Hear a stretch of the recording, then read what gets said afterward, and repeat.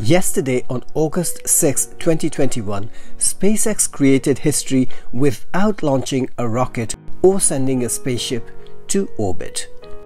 Reaching a major Starship milestone, Elon Musk's SpaceX mated Spaceship 20 and Super Heavy booster BN4 to create the tallest, most powerful rocket humanity has ever built.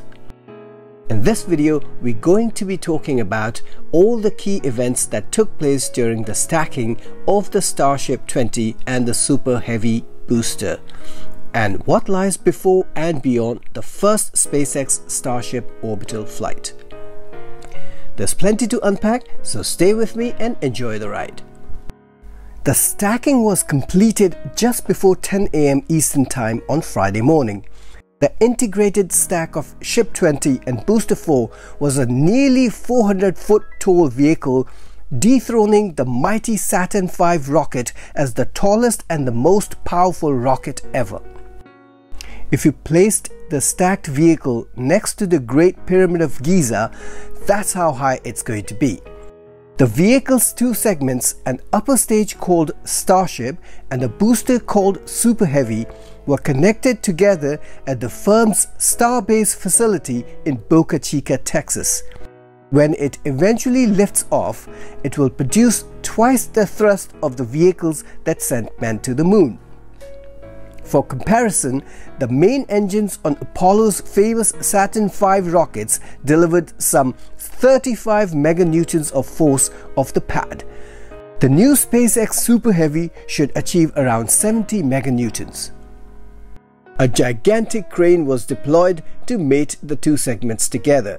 They were held in the stacked position for an hour, allowing for fit checks and photo ops before decoupling them again. Starship prototypes stand at about 160 feet tall or around the size of a 16 story building and are built of stainless steel. Super Heavy booster, which makes up the bottom half of the rocket, stands at about 230 feet. It's fitted with 29 Raptor engines including 20 boost variants and 9 gimbling center variants as well as 4 non-folding grid fins. The Starship 20 upper stage is fitted with 6 Raptor engines, including 3 vacuum optimized engines or RVACs and 3 sea level engines in the middle. One notable difference between previously shiny Starship prototypes and Starship 20 was that one half of the Ship 20 was covered in the small hexagonal heat shield tiles to help it survive the intense process of re-entering the Earth's atmosphere and improve the ship's durability. Musk noted that work on the tiles is about 98% done for Starship 20 as the remaining tiles are unique shapes requiring machining. Despite Friday's successful stacking, SpaceX may be several weeks, even months away from the inaugural flight before which extensive testing will be done in preparation for the orbital hop. Musk outlined four significant items that SpaceX has to complete over the next two weeks in preparing Starship 20 for launch. He said SpaceX needs to add the final heat shield tiles to the ship, add thermal protection to the Raptor rocket engines in Booster 4, complete work on ground propellant storage tanks, and add a quick disconnect arm or DQ arm to the top of the recently built launch tower. The quick disconnect arm connects power and fuel lines to the rocket before launch. The orbital flight will entail the booster hauling the Starship into space for three quarters of the way around the Earth trip. The flight will terminate with Starship landing in waters off the Hawaiian island in the Pacific Ocean.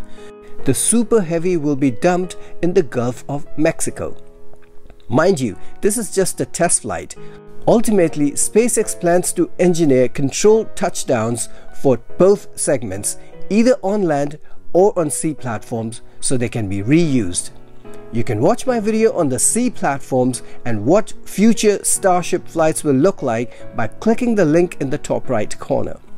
SpaceX CEO Elon Musk says, when fully deployed, the Starship system will be capable of taking humans to the moon and Mars. It could also ferry people quickly around the world. Putting satellites in orbit is another obvious application.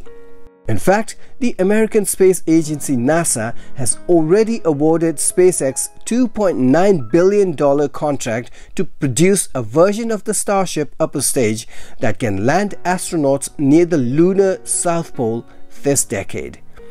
Friday's milestone follows months of feverish activity in Boca Chica because Elon Musk is keen to launch the Starship vehicle as soon as possible.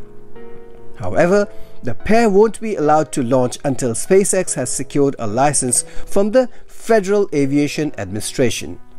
The government agency is currently conducting an environmental review, which means the maiden orbital flight is still a way off.